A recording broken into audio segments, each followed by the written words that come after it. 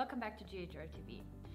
This Monday, the 30th of January, GHRD traveled to Geneva in order to attend the UPR working group session on the country of Pakistan.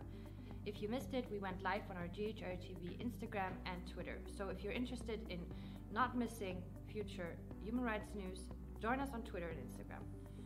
For all of you who might not know what a UPR is who have not pre been present at one, country delegations only get 55 seconds to either compliment or criticize the country, this time Pakistan. The major takeaways that we got as GHRD was that the country delegations present were criticizing forced conversions, abductions, discrimination against women and girls, discrimination and or persecution of religious minorities, lacking protection of journalists and media professionals.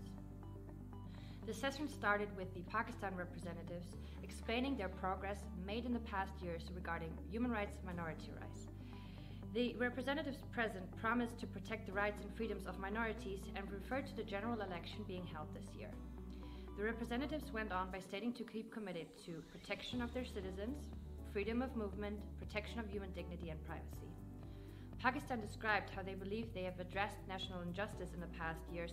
They have addressed women's rights, as I said, discrimination of women and girls were one of the major topics of that day.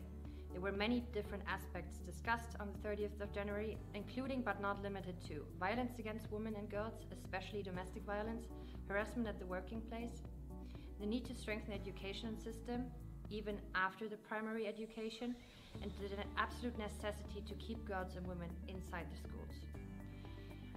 We've all seen the recent floods in Pakistan, which have caused country delegates such as Sri Lanka, for example, to underline the importance of instant, efficient climate action, sustainable development, and the implementation of regulations to combat climate change in the country. One of the countries which stood out in the criticism towards Pakistan was India. They pointed at minorities in Sindh and Balochistan suffering, suffering abductions, torture, and forced disappearances, targeted human rights activists and journalists. India further accused the state of Pakistan of turning a blind eye towards forced conversions in Sindh and Balochistan, arguably making one of the strongest statements of the day. If you're interested, join us on GHR TV.